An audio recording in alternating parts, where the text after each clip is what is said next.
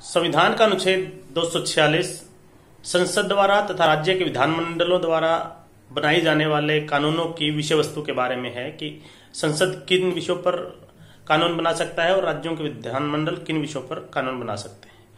इस अनुच्छेद को जब भी पढ़ेंगे, उसको संविधान की सातवीं अनुसूची के साथ पढ़ेंगे।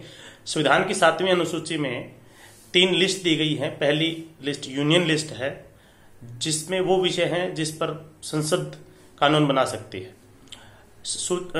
सातवीं अनुसूची के लिस्ट टू में स्टेट लिस्ट है, जिसमें वो विषय हैं, जिस पर राज्यों के विधानमंडल कानून बना सकते हैं।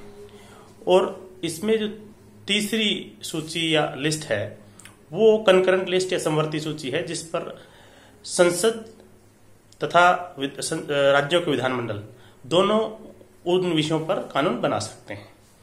तो अब संविधान के अनुच्छेद दो सौ छियालीस में दिया गया है कि संसद जो है, सातवीं अनुसूची की लिस्ट एक तथा लिस्ट तीन, जो कंकरेंट लिस्ट है, उन पर कानून बना सकती है। और दूसरा ये कहा गया कि राज्यों के विधानमंडल जो है, लिस्ट टू, यानी राज्यों की सूची, और लिस्ट थ्री, यानी कि समवर्ती सूची, इन दोनों पर राज्य भी कानून बना सकते हैं। इसके अलावा इसमें यह भी दिया गया है कि